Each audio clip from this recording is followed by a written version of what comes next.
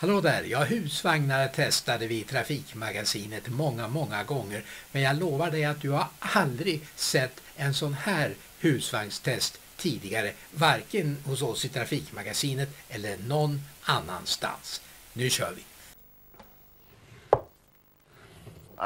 Hugh Kennedy är en något excentrisk, stenrik engelsman som har medeltida krigsmaskiner som sitt stora intresse.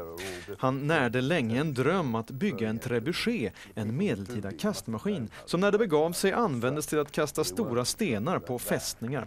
Ett alldeles hårresande vapen faktiskt. Problemet var dock att det inte fanns några vettiga ritningar eller tekniska beskrivningar. Allt Hugh hade att gå på var några medeltida träsnitt.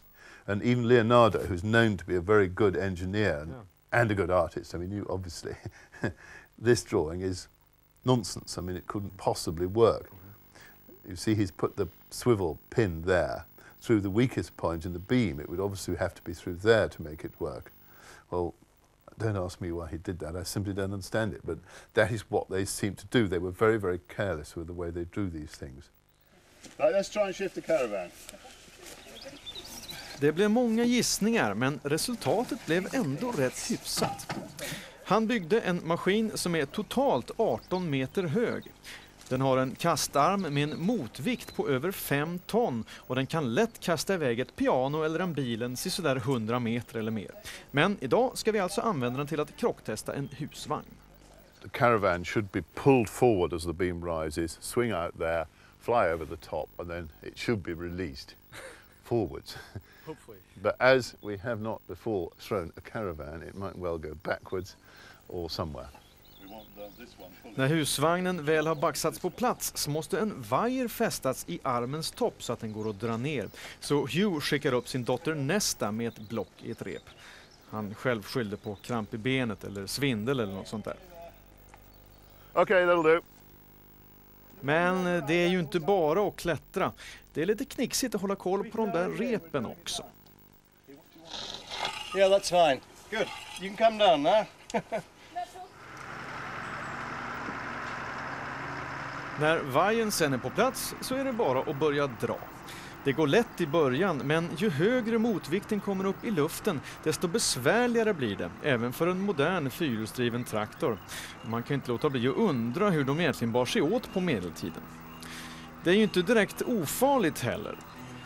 Den här träkonstruktionen har numera 12 år på nacken så man förstår ju att de inte har lust att stå alldeles i närheten av den längre än nödvändigt.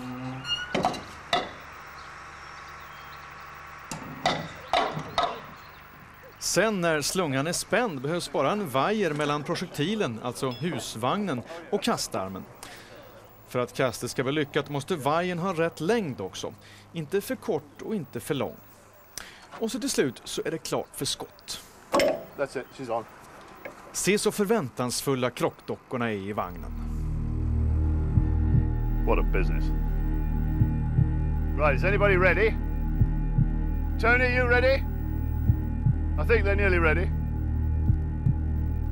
Okay.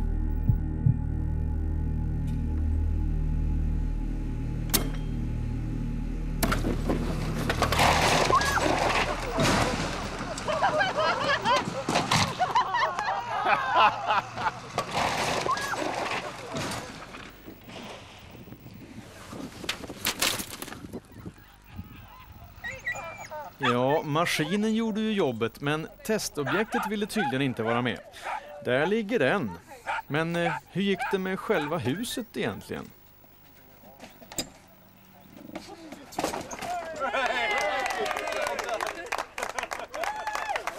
Ja, säkrare än så här blir det inte. Testet blev väl vad man skulle kunna kalla en delad framgång. Men entusiasten Hugh Kennedy ger sig inte. Han har stora planer för en ny maskin i framtiden. The machine's got to be very large because we are trying to throw a, a London bus, a double-decker bus, which weighs 10 tons. And so to do that we need a 50-ton weight on the end of the beam. And the beam is to be 120 feet long. And so it is a large steel construction.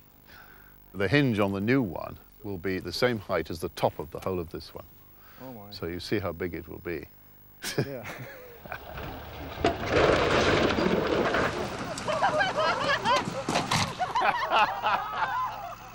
Not too good.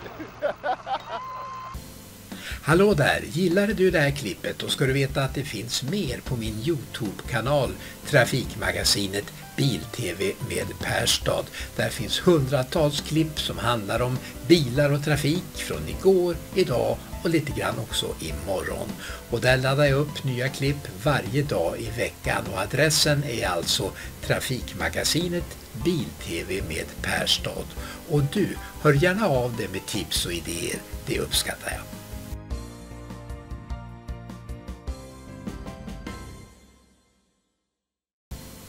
Hallå där! Gillade du det här klippet då ska du veta att det finns mer på min Youtube-kanal Trafikmagasinet Bil-TV med Perstad. Där finns hundratals klipp som handlar om bilar och trafik från igår, idag och lite grann också imorgon. Och där laddar jag upp nya klipp varje dag i veckan och adressen är alltså Trafikmagasinet Bil-TV med Perstad. Och du, hör gärna av dig med tips och idéer, det uppskattar jag.